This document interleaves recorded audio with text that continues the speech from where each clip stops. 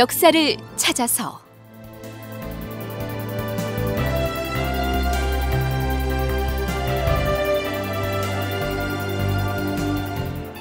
제 250편 헌정왕후와 현종의 탄생. 극본 조수연 연출 권영진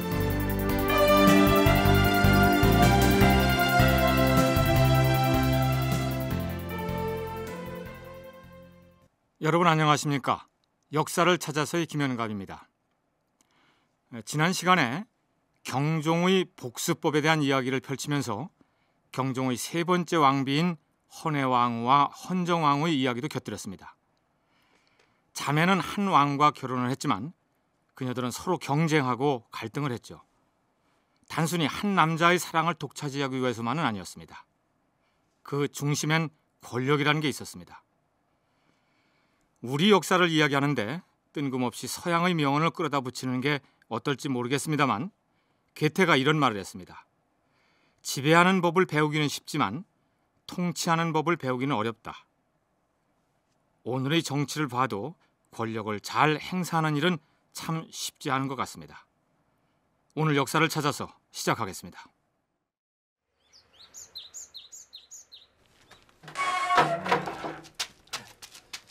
마님, 궁궐에서 사람이 왔습니다요. 무슨 일이냐? 성관어사 나으리 폐하께서 찾아 계시옵니다. 폐하께서 소인이 매시겠사옵니다. 어서 채비를 하시옵소서. 성종 임금이 찾는 일은 성관어사 최숙로. 그는 해종, 정종, 광종, 경종 임금을 모시는 동안 양지보다는 음지에서 벼슬 생활을 했다. 그러나 성종이 왕위에 오르면서 비로소 빛을 보게 된다.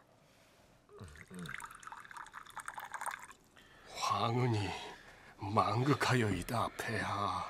무슨 말씀을요? 공이 치매 곁에 없었다면 내 어찌 살았을까 싶소. 신은 몸둘 바를 모르겠사옵니다. 내 최공에게 선관 어사란 벼슬을 내리면서 내심으로 고대한 게 있소이다. 무엇이옵니까 폐하? 임금의 덕은 오직 신하의 보필에 달려 있습니다. 짐이 새로 정무를 총괄하게 되었으니 잘못된 정사가 있을까 걱정이 많습니다. 하늘이 보살피실 것이옵니다 폐하. 아니에요. 결국 사람이 하는 일이 왜다. 짐도 사람이고요. 내 일찍이 경관 오품 이상은 각기 봉사를 올리라고 한 것도 그 때문입니다. 짐의 잘못을 논할 것 같으면 언제든 찾아주시오. 황은이 망극하여이다. 최공, 예, 폐하. 얼굴에 주름살이 깊은 고랑을 파고 있구려. 폐하, 누구나 세월을 거역할 수는 없사옵니다.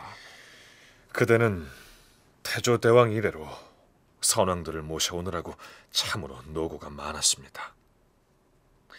그동안의 경험을 살려 짐에게 많은 정견을 말해주오. 아직 23살의 성종 임금. 50대 신하에게 성종 임금은 간곡히 당부했다. 그리고 그의 답이라도 하듯이 최숙노는 상서를 올렸다.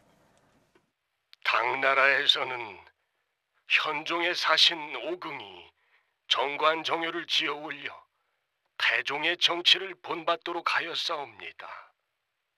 우리 고려 역시 태조 대왕께서 건국한 때로부터 신이 아는 것은 모두 신의 마음에 기억하고 있으니 삼가 정치와 교화에서 본받을 만하거나 경계로 삼을 만한 것으로 기록하여 조목별로 아뢰어드리겠사옵니다. 이렇게 나온 것이 이른바 시무 28조였다. 신은 시무 28조를 기록하여 장계와 함께 별도로 봉하여 올리옵니다. 첫째, 우리 국가가 삼국을 통일한 지 47년이 되었는데 사졸은 편안히 잠을 자지 못하고 군량이 흡입됨을 면치 못하는 것은 서북 지방이 오랑캐와 다 있어 방비해서 지키는 곳이 많기 때문입니다. 원컨대 성상께서는 이것을 염두에 두소서. 마헐탄을 경계로 삼은 것은 태조의 뜻이요. 압록강가의 석성을 경계로 삼은 것은 대조가 정한 것입니다. 바라건대 요해지를 가려 국경을 정하고 활쏘기와 말타기를 잘하는 토인을 뽑아서 방어하고 지키는 데 충당하고 또 그 가운데 두세 명의 편장을 뽑아서 이를 통솔하게 한다면 경구는 번갈아 수자리를 하는 노고를 면하게 되고 마초와 굴량은 운반 비용을 덜게 될 것이옵니다. 성종 임금은 왕위에 오르기 전부터 유교 경전을 열심히 공부하고 인품이 뛰어났다고 한다. 특히 최숙로 등 유학제의 자문과 건의로 정치 혁신을 단행하고 유교를 국가의 지도 원리로 삼아 중앙 집권적인 봉건 제도를 확립하였다. 최숙로는 자신의 웅지를 펼 수 있도록 기회를 준 성종을 생각하면서 이렇게 찬양했다. 다행히도 천년 만에 지존을 만나 재주 없이 직책을 더럽히며 서단내 있네. 문장이야 감히 가치 있는 현사들을 바라보랴마는 임금의 깊은 종에 모름지기 자랑하여 후세에 보여주리. 크나큰 감명으로 눈물만 흘리고 뛸 듯한 기쁨에는 오히려 말이 없네.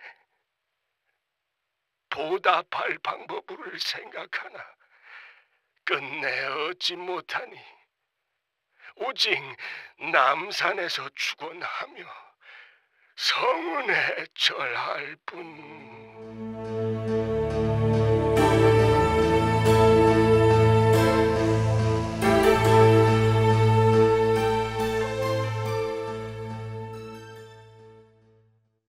예, 에, 들으신 드라마에서는 에, 성종과 최승로의 충정 어린 관계가 제시되면서 개혁 아닌 시무 28조가 올려지는 과정을 보여주었습니다. 오늘은 에, 이를 중심으로 얘기를 시작할까 합니다. 오늘도 상명대학교 명예교수이신 최규성 박사님 함께했습니다. 안녕하셨습니까? 안녕하십니까? 네.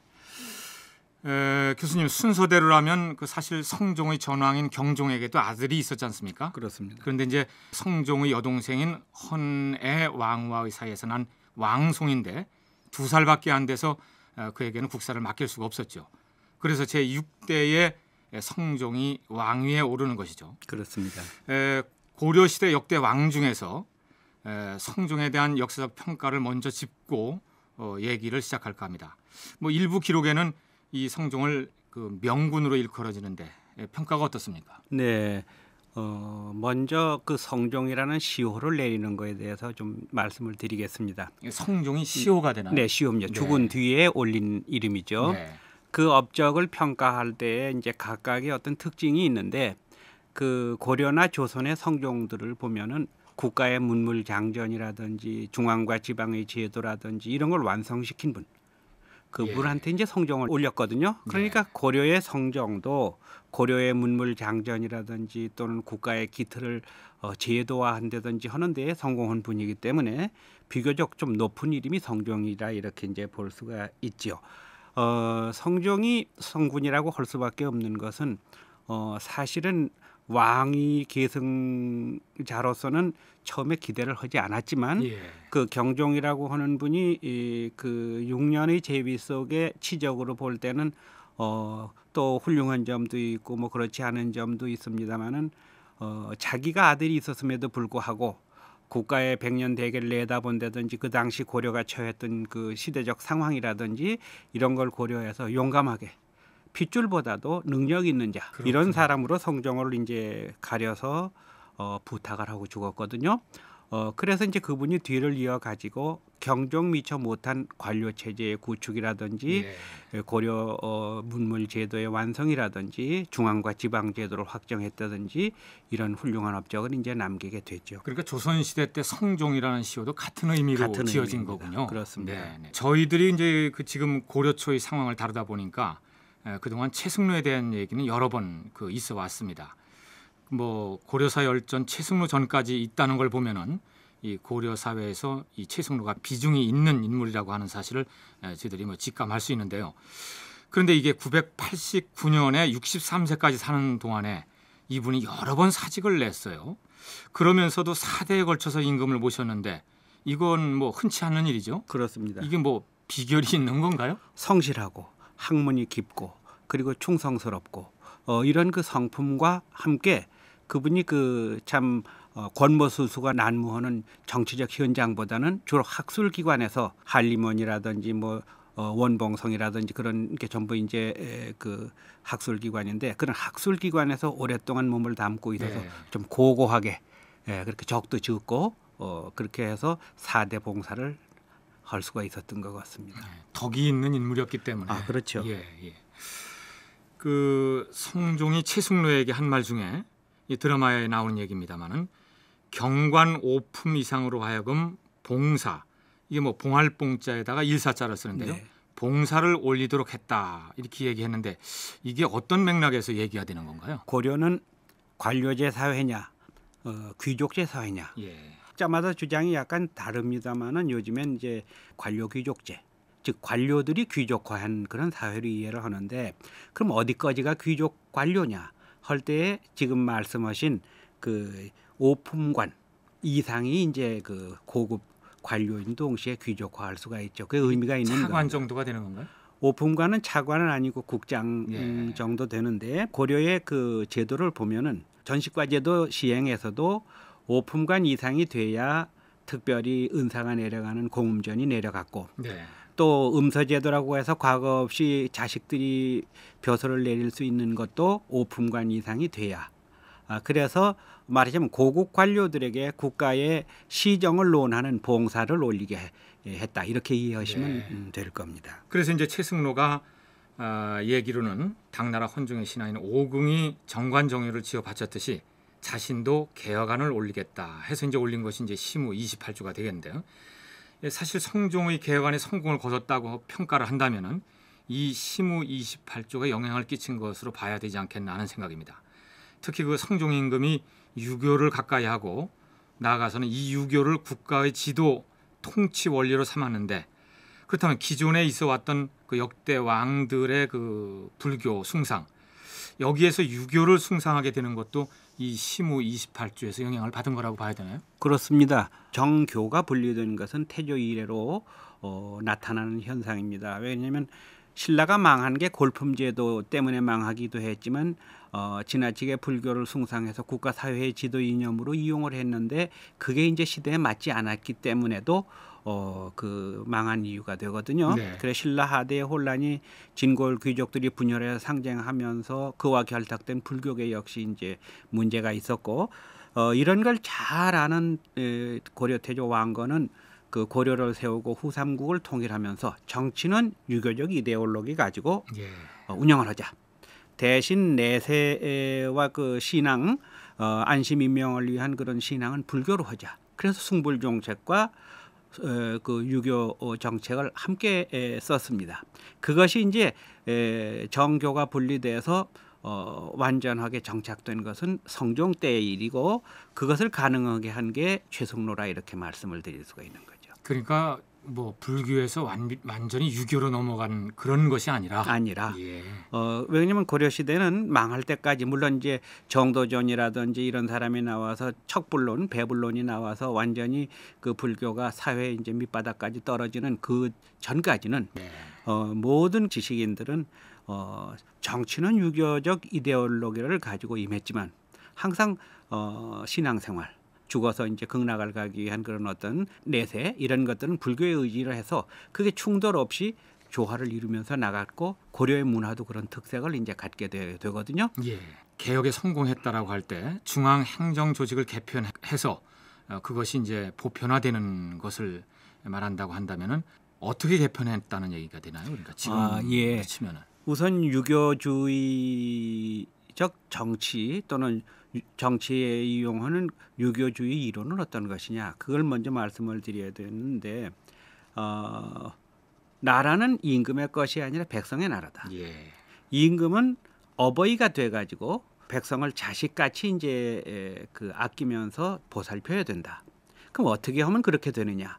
국왕을 정점으로 해서 관료 체제가 구성이 되고 어, 국왕을 대신하는 관료들이 백성을 돌보게 해서 왕도주의 정책 이 이제 실현되고 그러한 그 유교 이론에 맞춰서 어, 통치를 해 나가자니까 판도 그렇게 짜고 그래서 이제 정점에 왕이 있고 왕을 보필하는 삼성의 이제 원로 집단이 이제 거쳐오는 게 있고 삼성 아래에 실제 각 부서별 특징을 가진 육부가 포진하고 있고 어 그리고 어 거기에 속하지 않으면서도 어 독자적인 어, 몇 개의 이제 부서들 예컨대 예, 군국 기물을 맡은 중추원이라든지 예.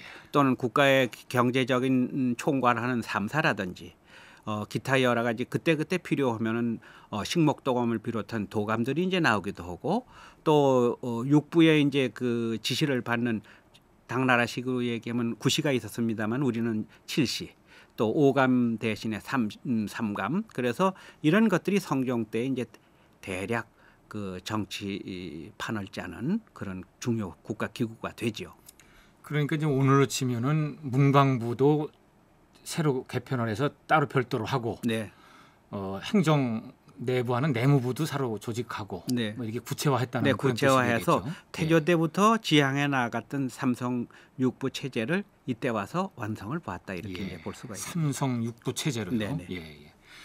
이제 그러면 이제 본격적으로 시무 28조를 좀 얘기하게 되겠는데요.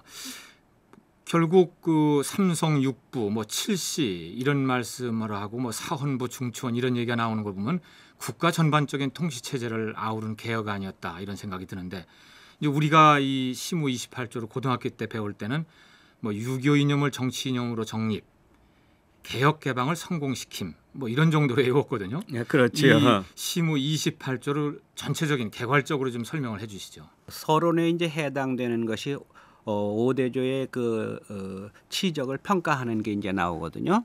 그러니까 그게- 선왕들이 네, 네. 선왕들 예. 태조부터 시작해 경종 때까지 어떤 일은 잘하고 어떤 것은 잘못된 거다. 그런데 어, 그 최승로의 마음 속에는 태조에 대한 어, 존경과 그리움과 그에 대한 그 참 뭐라고 할까 열망과 이런 것이 차이는 분이에요. 그래서 역대 왕들을 설명하면서 꼭 태조와 이제 비교를 해서 얘기를 네. 하는데 그 중에서 가장 이제 중요한 게 뭐냐면 태조가 외국의 문물을 그냥 무조건 들여오지 않고 자국의 독특한 어떤 정신이라든지 풍습이라든지 이런 걸 지켜나가면서 어, 이러이러한 것을 잘했다 이제 이렇게 얘기를 하고 창업과 더불어서 후삼국을 통일하고 백성을 사랑해서 좋은 정치를 하고 국방을 튼튼히 하고 뭐 또 경제를 아껴서 어떻게 하고 한 것들을 성종이 본받아 가지고 더 훌륭한 국가를 세우고 국가를 튼튼히 해서 진일보할 수 있는 그런 비전을 제시하는 거다 이렇게 어, 얘기를 할 수 있습니다. 근데 그것을 그 뭘로 증명할 수 있느냐? 그러면 오대조 봉사를 자세히 설명한 다음에 오대조의 그 치적을 잘 설명한 다음에 끝에 가서 어, 어떤 얘기를 했느냐 하면은 당나라 태종이 훌륭한 업적을 내려서 정관의 치라고 하는 그런 그 태평성대를 이룩한 거를 본받아서 현종이 진일보한 그런 어, 참 당나라 최고의 당을 이룩하는 계기로 삼았거든요. 물론 이제 그 뒤에 예, 곧그 참 문란되고 알록산 사사명의 난이 일어나고 천하가 이롭습니다만 그, 그 개원의 치라고 하는 거는 정관의 치 못지않게 훌륭한 업적인데 그거를 왜 성종은 못 하겠습니까? 예. 그렇겠죠. 예, 예. 그 얘기입니다. 예. 그러니까 뭐 최승로 개인적인 어떤 창의적인 반, 이 어떤 그 발상도 있었겠지만 이미 태조에서부터 생각됐던 것들 예, 보고 자기가 생각했던 것들을 정리한 것으로 봐야 되겠네요. 그렇습니다. 예. 그 제가 대충 그 어려운 한문이지만 봤더니 이 오조 치적 에, 치적평 그게 이제 맨 앞에 네. 맨 있는 앞에 것이고 네. 그다음에 뭐 제 1조에서는 북방에 중요한 곳에 요새를 설치한다. 네. 이런 건 굉장히 그 현실적인 어. 예, 국방을 제일로 한다라고 하는 것을 1조에서 넣었다는 면에서 참 에, 오늘과 다르지 않다라는 건 생각을 했고요. 아까 교수님이 그 불교의 그 얘기를 하셨는데 그 20조에 이런 얘기가 있네요. 불교는 내생을 위한 수, 에, 내생을 위해 수신하는 것이고 유교는 현재를 위해 나라를 다스리는 이름으로 현재 필요한 일을 버리고 먼 내생을 위해 힘쓰는 불교에 몰두하는 것은 잘못이다. 이렇게 해서 이제 20조에서 이제 얘기를 하고 있네요. 예, 그렇습니다. 예. 사실은 당시만 해도 뭐 팔관회라든가 이런 데 너무 불교의 편도가 돼서 이것을 이제 시정하자라는 그런 뜻으로 말한 거겠죠. 네, 그런데 예. 이제 그 최승로 자체도 불교를 억압하거나 뭐 어, 배척하는 게 아니고 예. 불교 행사에 지나치게 많은 경비가 들어간다. 또 지나치게 그 번잡한 어, 팔관이나 연 연등회 같은 그런 국가적 행사에 백성들의 고통이 많다. 네. 어, 이러니까 그걸 시정해야 해야 된다는 거고 또 하나는 그 광종이 많은 사람을 죽였기 때문에 왜 내심 참 그 후회하거나 아니면은 그 두려워하는 일이 없겠습니까? 내세를 생각해서 그래서 몸소 나가서 뭐 참 불교 행사를 많이 했거든요. 그러니까 그렇게 어, 임금이 지나치게 불교에 혹신할 것 같으면은 정책을 바로 펼 수 없다. 예. 그걸 지금 20조에서 지적해서 어, 그 번잡한 또 비용을 많이 쓰는 불교 행사도 좀 줄이고 어, 임금이 예, 그 직접 나서서 수고롭게 하는 것 이런 것들을 전부 좀 시정하라 하는 그런 의미가 있죠. 예. 그리고 이제 시무 28조에서 마지막으로 이 애교 관계가 당시에 이제 복잡했기 때문에 에, 이 임금으로서는 이것에 대해서도 어떤 그저 결정을 했어야 될 텐데 이 송나라나 거란과의 관계는 어떻게 나타납니까? 그 당시 성종 자신이 국제 정세를 비교적 잘 읽었던 예. 임금인 것 같습니다. 물론 이제 정보를 갖다 주는 사람이 있고 그 중에 한 분이 이제 서희라는 분도 있는데 될 수 있으면 송하고 거란하고의 그 대결에서 빠져서 중립을 유지하는 자칫 예. 잘못하면 국제적 분쟁에 휘말릴 우려가 있으니까 그런 이제 정책을 써 나가는데 어, 거기에 일조를 한 것이 최승로의 건의라 이렇게 볼 수가 있는 것이 에, 지나치게 외국 거를 받아들여서 중국화하지를 말고 그, 그 태조 왕건께서 추진했던 바와 같이 그 참 독창적이고 그리고 고유한 풍습을 유지해 나가고 지켜 나가는 것이 이제 어떻게는가 하는 그 속에 에, 그 자주 노선 같은 것이 에, 생각됩니다. 예. 뭐 마지막 그 시무 28조에 대한 얘기가 되는데 이게 이제 우리도 그냥 뭐 교과서적으로만 외웠습니다만 시무 28조에서 6조가 전해지지 않는다라고 하는데 이 전해지지 않는 이유는 뭐고 이 6조는 대충 어떤 내용인지가 지금 학계에서 밝혀지고 있나요? 그럼 뭐 밝혀졌다는 것보다 추측이 난무되죠. 예. 그리고 우선 사라지게 된 거는 국초의 난리를 겪었기 때문에 이제 사라지는 거거든요. 왜 그러냐면 현종 때에 거란이 침입해서 개경에 불타고 궁궐에 있었던 청년각, 보문각 같은 그런 큰 도서관이 다 없어졌거든요. 아하.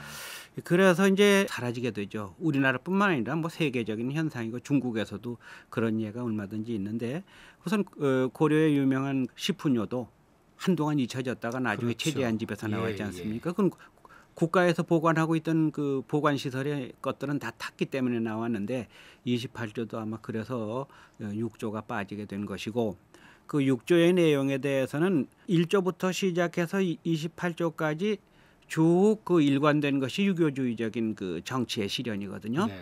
그래서 그거와 관련되어서 볼 때에 어, 나중에 성종이 이제 국자감을 마련하고 인재 양성에 힘을 쓰고 하는 그런 것들이 있는데 어, 혹시라도 어떤 그 국자감의 설치 운영 그리고 이제 인재 양성과 관련된 것들이 있지 않을까 하는 것도 있고 또 하나는 지나친 그 불교 행사 그런 것들을 도처에서 지적하는데 그럼 그 중에서도 대표적인 게 뭐냐 어, 할 때에 그 연등회와 팔관회라고 하는 걸 볼 수 있는데 예. 그것도 어, 좀 어떻게 시정을 해야 된다 하는 것이 있지 않을까 생각이 되는데 왜 그러냐면 어, 바로 그 성종 자체가 그 팔관회와 연등회를 일시 폐지하거든요. 네. 이제 그것도 연관해서 이제 생각해 볼 수가 있고요. 또 하나 이제 생각해 볼 수 있는 게 뭐냐면 최승로 본인 자신도 훈신숙장 즉 어, 원로 대신 후임 대신 중에 하나이기 때문에 경종이 여러 가지 그 계류되어 있는 훈숙장 관계의 소홍사는 끝을 냈지만 그 자손들에 대한 어, 따뜻한 보살핌이라든지 그런 것들이 없으니까 혹시 28조 어디 끝이라든지 넣어서 훈신 숙장들의 살아남은 자손들이나 그런 분들에 대한 국가의 배려 이런 것이 있지 않을까 하는 그런 네. 생각을 해봅니다. 예. 자 그러면은 성종 시대의 최승로만큼의 조명을 받는 그 자매가 있죠. 헌해왕후와 헌정왕후 얘긴데 참 이분들의 갈등도 참 치열했고 이게 뭐 이런 내용 때문에 요즘에 뭐 드라마로도 많이 나오는 것 같은데 에, 성종 시대의 뭐 그 지난 시간 경종 시대를 말하면서 뭐 교수님께서 그 두 자매의 그 생애를 간략하게 들려주셨습니다만 에, 이 시간에서는 그 바로 그 헌해왕후와 헌정왕후의 그 갈등 중에 한 부분을 에, 드라마로 듣고 어, 얘기를 나누도록 하겠습니다. 경종의 네 번째 왕비였던 헌정왕후는 궁으로 들어간 지 1년 만에 경종이 세상을 떠나자 궁 밖에 사가에 머물게 된다. 사가에는 그녀를 따라 궁에서 나온 늙은 궁녀 두 사람뿐. 적적하고 권태로운 나날이 이어지던 어느 날 마마, 무슨 걱정이라도 있으시옵니까? 안색이 안 좋으십니다. 어젯밤에 요상한 꿈을 꾸었어. 요상한 꿈이라니요. 그래, 이상도 하지. 내가 성악산을 올라갔지 않겠어? 그런데 흰 구름이 피어오르는가 싶더니 갑자기 내 앞에서 물이 쏟아지는 거였어. 그래 그 물 속에서 고함만 치다가 깨어났지 뭐야. 마마, 좋은 꿈이옵니다. 아, 그러하옵니다, 마마. 필시 큰 부자가 되실 것이옵니다. 그래? 그럼 못해. 이렇게 홀로 살면서 부자만 되면 뭘 하느냐고. 헌정은 쓸쓸했다. 그도 그럴 것이 아직은 갓 서른도 안 된 아녀자로 그렇게 홀로 늙어가기엔 너무나 아까운 나이였다. 걔 아무도 없는가? 계신지요?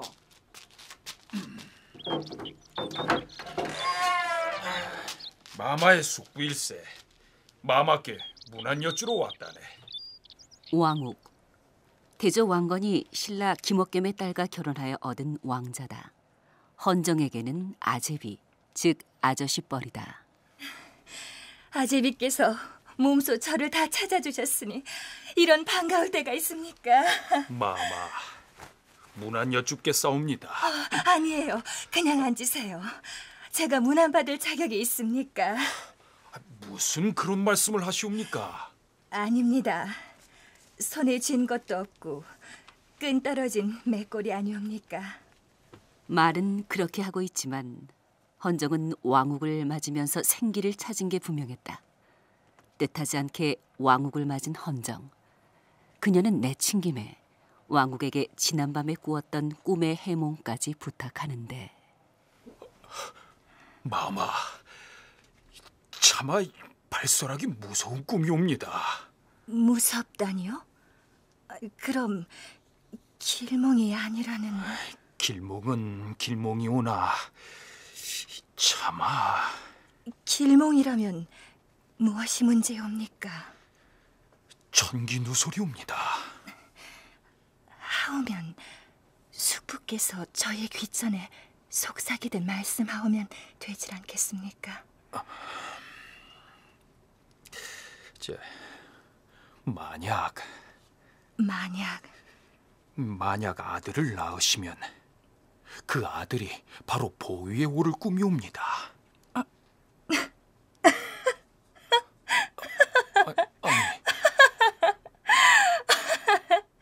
숙부께서 농에 지나치시옵니다. 어째 과부가 아들을 낳는단 말입니까?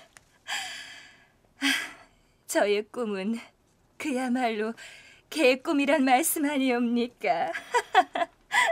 마마, 한 치 앞도 알 수 없는 것이 인연이요 인생 사이옵니다. 한 치 앞도 알 수 없다.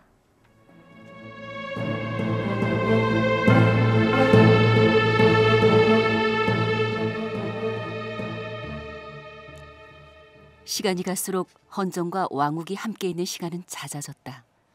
헌정이 무료에 있을 때마다 왕욱은 함께 시간을 보내며 시를 지어 들려주었다. 50줄이 다 된 아저씨에게 헌정은 서서히 마음을 빼앗기기 시작했다. 마마, 채비를 좀 하시지요. 채비라니요? 어딜 가시려고요? 이 집에만 계시오면 갑갑증이 생겨 심신이 허약해지옵니다. 오늘 저녁에 왕윤사에서 큰 제가 열린다 하옵니다. 마마, 구경이나 가시지요. 과부가 무슨 구경을 가옵니까? 먼 발치로 구경이나 하렵니다. 마마, 언제까지나 이렇게 갇혀 살 수는 없는 노릇이옵니다. 처음이 어려울 따름이옵니다. 한번 길을 터 놓으면 차차 익숙해질 것이옵니다. 그럴까요?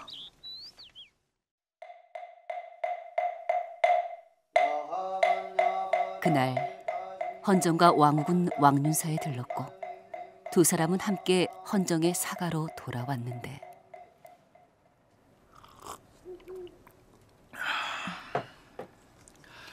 마마, 그럼 저는 이만 왜요? 그만 가시게요? 밤이 깊어싸웁니다. 내일 다시 숙부, 가시면 아니 되옵니다. 마마, 이대로 가시오면 저는 어찌하오리까? 숙부, 마마. 숙부와 조카 두 사람은 서로를 끌어안고 돌아올 수 없는 강을 건넜다. 그리고 얼마 후 마마, 조반상이옵니다. 그만 됐네. 생각이 없으니 물러가게. 마마, 그래도 한술이라도 뜨셔야 하옵니다. 그만 두래도. 어? 마마! 그 밥상 당장 내 가게 어서. 어? 어?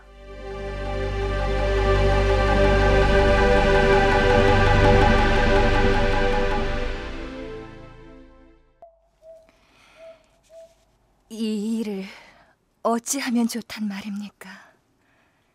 세상의 눈총을 어찌 감당해야 한단 말입니까?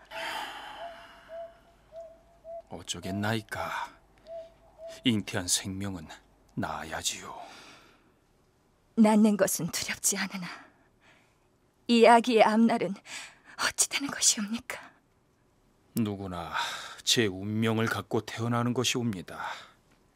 저마다 제 몫이 있으니 그것은 온전히 마마가 겪을 일이 아니옵니다. 날 죽여주시오. 마마, 원망도 한도 품지 않을 것이니 날 죽여주시오. 마마, 진정하시오. 차라리 내가 모든 죄를 뒤집어 쓰겠나이다. 결단코 죽고 싶습니다. 날 잡지 마오. 마마! 헌정은 그 길로 자신의 집으로 달려가 나무단에 불을 지르고 불구덩이 속으로 뛰어들었다.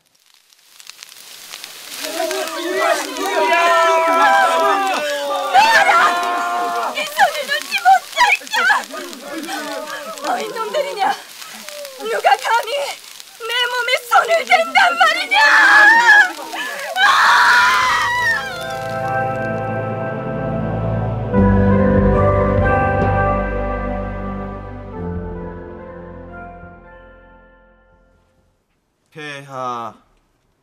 불이 난 곳이 확인되었사옵니다. 어 그래 어디라고 하더냐? 그게 헌정왕후께서 계신 마을이온데 뭐라?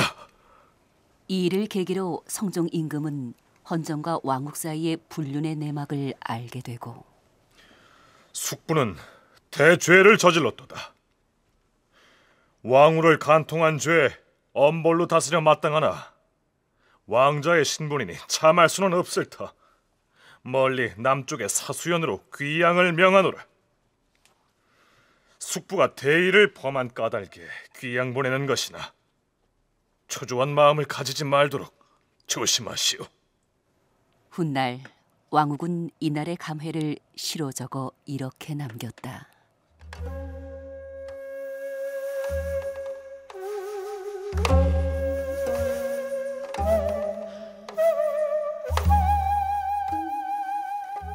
그대와 더불어 같은 날에 황성을 떠났느니 그대 이미 돌아갔는데 나만 홀로 못 가노라. 귀양 가는 길에선 쇠줄에 매인 원숭인 양 신세만 한탄하였고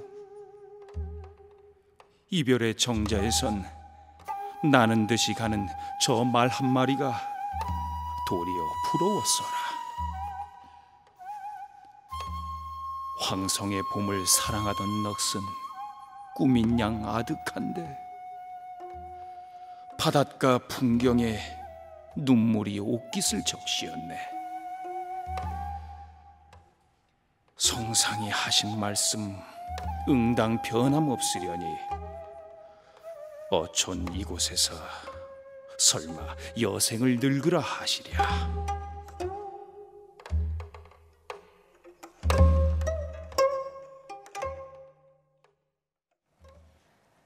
한편 헌정왕후는 왕욱을 귀양 보내고 슬픔에 빠져 있다가 집으로 돌아가는 길에 산길을 느낀다.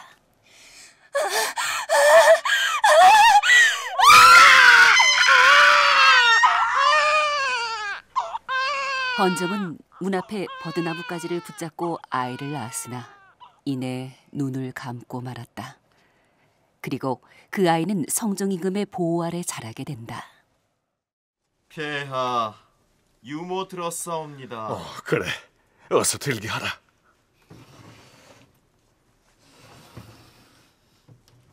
폐하, 순하기 심히시었습니다. 어, 그래. 유모가 고생이 많구만. 어디 좀 보자. 어, 순아, 내 무릎으로 올라오너라. 예, 아, 아버님. 아버님? 순아, 너 지금 뭐라 했느냐? 날더러 아버님이라 하였느냐? 아버님. 폐하, 일전부터 아버님 소리를 하시고 있사옵니다. 에이, 이런 이런 이놈이 아비를 찾고 있는 것이야. 지 아비를. 오냐, 네 아비가 있는 사수연으로 보내주마. 그렇게 갓 세 살 무렵부터 아버지를 찾기 시작한 순. 그리하여 순은 사수현, 지금의 경남 사천에 왕욱이 있는 곳으로 보내지는데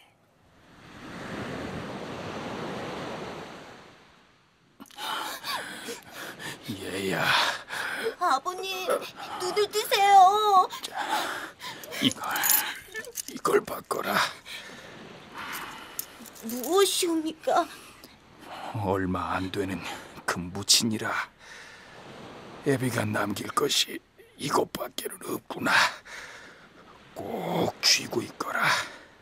그리하여 내가 죽거든 이 금을 지관에게 주고 날 이 고을 성왕당 남녘 귀룡동에 매장하게 하되 반드시 반드시 엎어서 묻게 하거라.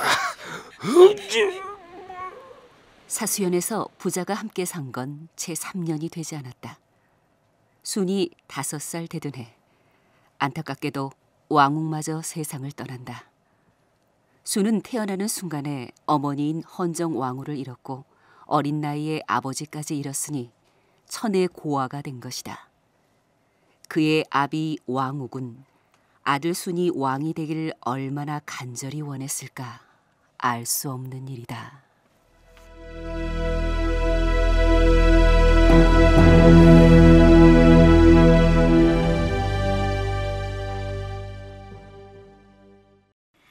예, 여러분께서는 지금 한민족 방송과 제1라디오를 통해 보내드리는 역사를 찾아서를 듣고 계십니다.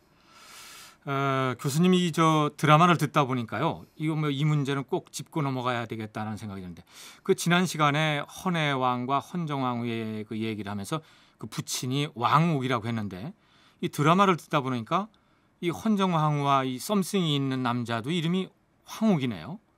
이 뭐 당연히 동명이인이겠죠? 그렇습니다.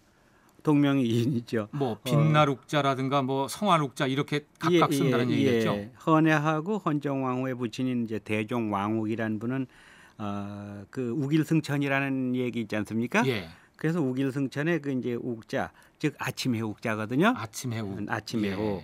그래서 나리 밑에 아홉구자 한자. 예, 그렇죠. 어, 태조하고 그 신정왕태후 황보씨 사이에서 낳은 인물이고 왕자고 광종 20년에 죽은 분이죠. 헌정왕후하고 헌애왕후가 그 어떤 러브 로망스를 필 때 그 보지도 못하고 이제 죽은 분이죠. 예.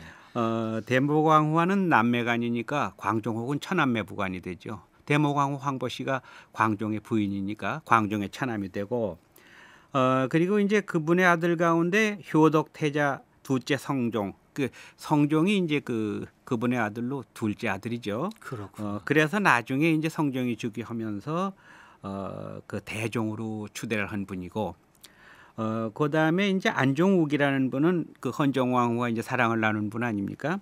이분은 이수루 옆에 부방한 자 성하룩자거든요. 그렇죠. 네, 예. 성하룩자인데 태조 왕건과 신성 왕태호 김씨와의 사이에서 태어났습니다. 근데 이게 굉장히 이게 의미가 있는 거라고 이제 이재현이나 고려의 그 사가들은 평을 하는 게 그 애당초 어 936년에 그 경순왕이 신라 천년의 사직을 들어서 고려에 이제 바쳤잖아요. 그렇죠. 예. 그러니까 왕건이 왕건 태조가 너무 고마워서 아 이제 우리 두 집안이 한 집안이 돼서 영광을 함께 하자. 이래서 이제 낭랑공주를 경순왕한테 내려줬죠. 또 이제 이중 결혼 관계를 맺기 위해서 신라의 왕실에 내가 장가 들고 싶은데 누가 없느냐 그랬더니 아 마침 우리 백부 되시는 분이 그 잡찬 김억념이란 분이 있는데 김억념의 딸을 어 그 참 어, 아주 대단한 교수니까 맞아들이시니까 어때냐 이래서 이제 왕건이 김억념의 딸을 부인으로 맞아들였죠. 이분이 이제 신성 왕태호이고요.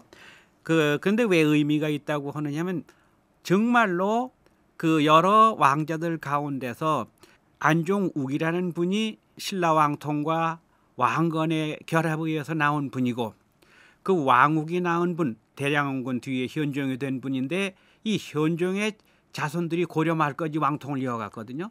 그렇다면은 신라 핏줄과 고려의 핏줄이 합쳐져서 그렇죠. 그것이 예. 이제 에, 대통이 돼서 내려갔다는 점에서 이제 의미가 크지요. 경종 임금이 돌아가시고 나서 그 청산갑으로 남은 헌해왕후하고 헌정왕후의 그 이제 뒷얘기로 이제 얘기가 진행되겠는데요. 뭐 그때 풍속으로는 이 왕이 돌아가시면 왕비들이 궁에서 나와가지고 사가에 있어야만 했나요? 어 그게 제도로 지금 남은 거는 없습니다. 예. 우리가 계고할 수 있는 게 그런데 조선 시대를 본다면 조선의 성종도 역시 그 어렸을 때에 그 궁에서 나와서 월산대군 집에서 있다가 나중에 다시 이제 왕에 돼 들어가지 않습니까? 그거는 어 유교 국가에서는 어또 중국 제도에 의해서는 당연히 있는 거라 고려도 왕이 죽고 나서 그 후계자가 왕이 됐을 경우에는 궁궐에 있어서 태후로서 어 그 받들지만 새로운 그 왕통이 이제 에, 이, 생긴다면은 예를 들어서 경종이 죽고 경종의 아들이 아닌 사촌 동생들은 성종이 즉위하면 어 당연히 경종의 부인들이나 척속들은 나가게 되죠. 그런데 이런 건 예외인 것 같아요. 성종이 헌정왕후가 나가는 것은 자식이 없기 때문에 나가니까 이제 나가게 하고 네. 그 왕송 그 나중에 경종이 될 분은 그 헌해 왕후한테는 손이 있었거든요. 전왕의 손이죠. 그래서 특별히 궁중에 머무르게 한 거죠. 손이 있기 때문에. 네. 예. 손이 있기 때문에 그래서 일반적 관례는 그 왕자가 있어서 어, 후사로 정해졌을 때는 왕이 죽었더라도 대궐에 있고 예. 새로운 왕이 다른 혈통에서 나와서 즉위할 경우에는 사저로 간다. 이렇게 이해하시면 될 것 같습니다. 그렇군요. 네. 그 이제 이 드라마에서 그 얘기의 실마리를 이제 헌정왕후가 꿈을 꾸는 것으로 이제 삼았거든요. 그리고 그 꿈 속에서 뭐 오줌을 누는 얘기 이거는 뭐 저희 프로그램에서도 고대사를 다루면서 많이 여러 번 그 언급을 했습니다만 이게 우리나라만의 뭐 역사 서술의 한 방식인가요? 헌정왕후가 꾸었던 꿈을 어, 요약해서 말씀을 드리자면은 어느 날 홍령에 올라가서 오줌을 누웠는데 그 오줌이 예, 슬슬 넘쳐서 개경이 아니라 고려 전체를 덮고 그리고 넘치면서 그게 잠시 있다가 은바다가 은빛바다가 예. 됐다는 거거든요. 예. 어, 생각해 보십시오. 여성이 제일 큰 장점이 뭐겠습니까? 생산이죠. 아기를 낳는다는 거거든요. 그렇습니다. 여성이 오줌을 눕는다는 것은 생산과 관련돼서 대단히 엄숙하고 의미 있는 것이고 또 고대의 여신상들이 되게 에, 왜 많이 만들어졌냐면 그 풍요와 다산과 이런 걸 기원하는 거거든요. 그런 의미에서 볼 때에 천하를 덮을 만한 오줌을 누를 수 있다는 꿈 속에서도 예. 이건 국모의 자격이 또 훌륭한 임금을 어, 그 임금이 될 제목을 낳는 그런 심리적인 어떤 표현으로 이제 이해할 수가 있습니다. 그래서 그런지 몰라도 이제 이 문제가 되는 왕욱이라는 사람이 그 꿈풀이를 아주 그 의미 있게 하지 않습니까? 그래서 이제 에, 헌정왕후의 오빠인 성종 임금이 그 왕욱을 에, 사수연으로 유배를 시켜서 떼어놓으려고 하는데요. 이 두 사람의 관계가 뭐 오늘의 시각으로 보면 참 민망한데 이 경우도 종래혼이라고 봐야 되나요? 종래혼이죠.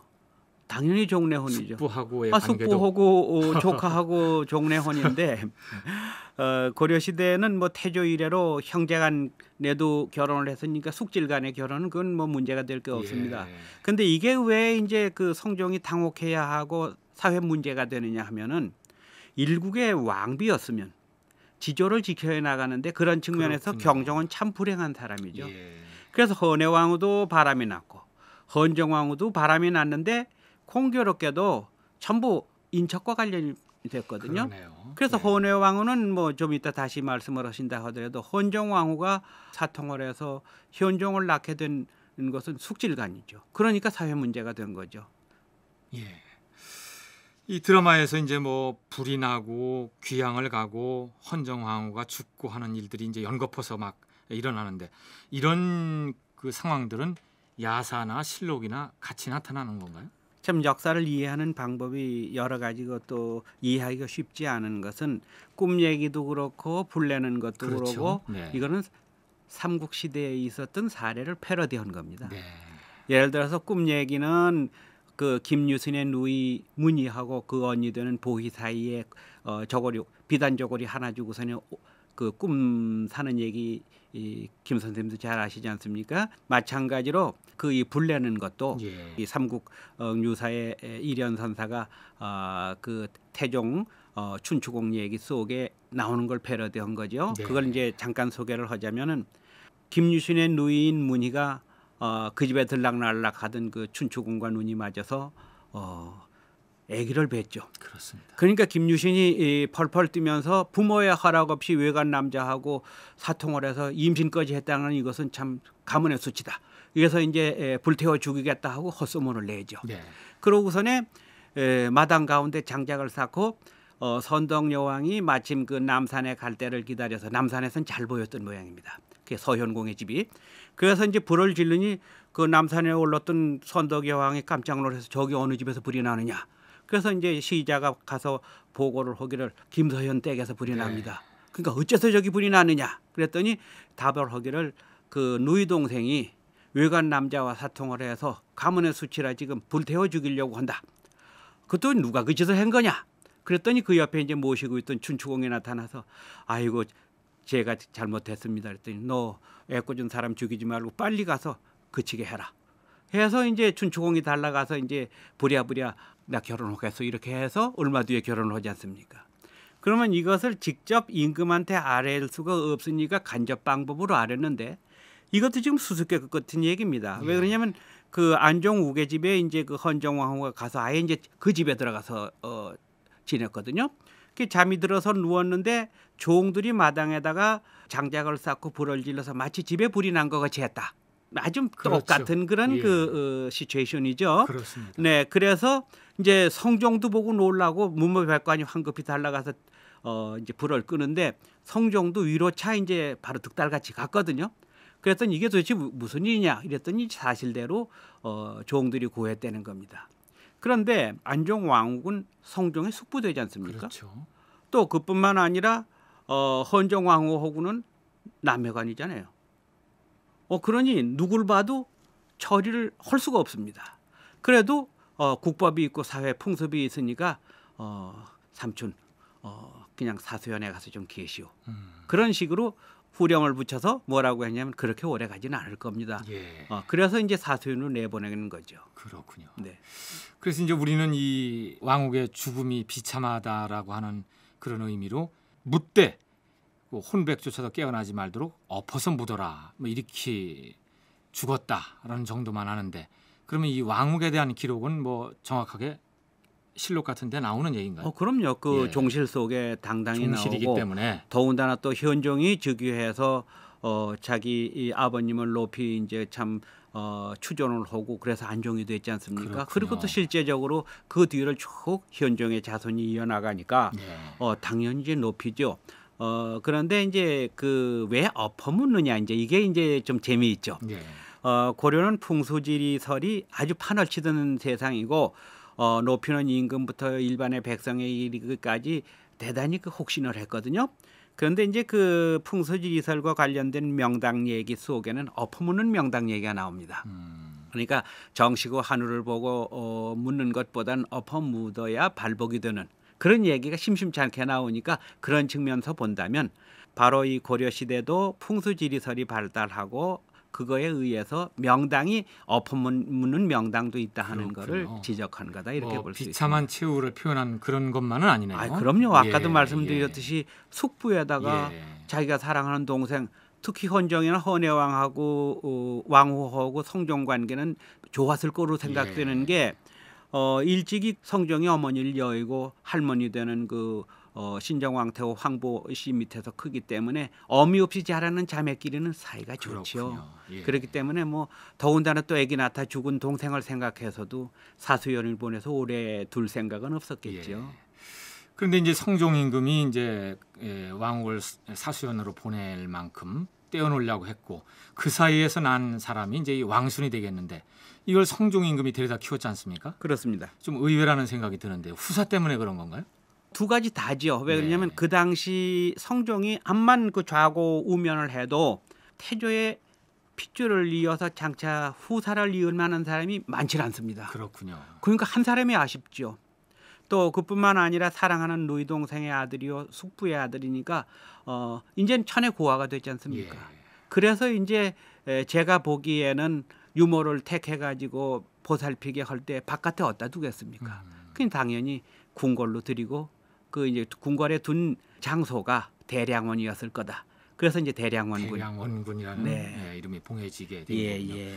그러니까 결국 이제 이분이 왕이 된다면은 뭐 결과적으로는 헌정왕후하고 왕욱이 바랬던 바네요. 아 그렇죠. 그 명당이 발복이 됐는지도 모르죠. 예. 하여튼 뭐 왕소는 어떤 경우든 대접을 받는다. 뭐 그 덕에 에, 비극이기도 하고 또 특혜를 받는다라고 하는 것을 알게 됐습니다. 에, 오늘은 성종과 목종에 이어 왕위에 오르게 되는 제 8대 에, 현종의 태생에 관해서 헌정왕과 왕욱의 이야기를 중심으로 전해드렸습니다. 에, 오늘 이 시간 수고 많으셨습니다. 고맙습니다. 예.